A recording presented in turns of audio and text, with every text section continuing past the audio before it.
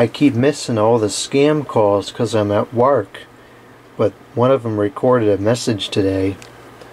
Oddly enough, it, the number has got the V in front of it, which is supposed to be like a real telephone.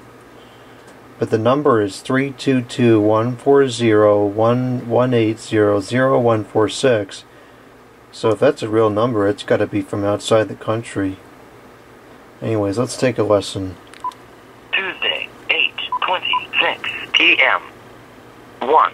New message and 11. Old messages. My name is Paul Schneider. This notification call from our Department of Debt and Financial Settlement Services.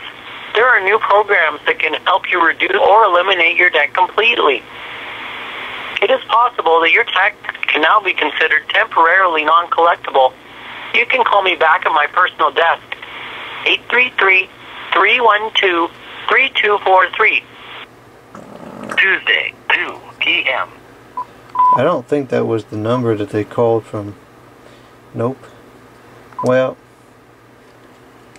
I don't want to call them and then, you know, they're going to keep calling back, but if they call again and I'm home, I'll answer it and I'll try to get it on video.